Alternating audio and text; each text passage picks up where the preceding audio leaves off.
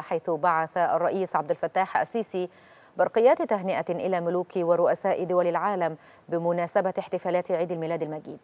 وأعرب الرئيس السيسي عن أخلص تهانيه وأطيب تمنياته بهذه المناسبة الطيبة متمنيا لهم عيدا سعيدا مباركا وعاما جديدا يحمل السلام والازدهار لشعوبهم الصديقة ولجميع شعوب العالم. كما أوفد الرئيس السيسي عددا من أمناء رئاسة الجمهورية للتهنئة وحضور احتفالات الطوائف المسيحية التي تحتفل بعيد الميلاد المجيد.